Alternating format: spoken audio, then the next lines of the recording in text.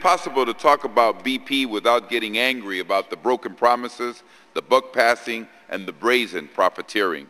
But I want to channel that anger into something productive and add one more BP to the mix. Be pro- proactive.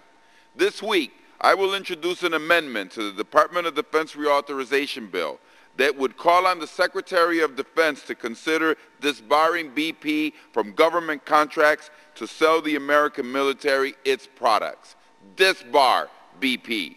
We hear that the cleanup may take years or may last forever. We hear calls for investigations that can go on for years or may last forever. But rather than look backwards and figure out what went wrong and who should pay, let's be proactive and take steps this week to ban permanently from federal contracts the serial abuser of the American trust. I urge you to support my amendment to the DoD reauthorization when it is debated and ban BP from federal contracts.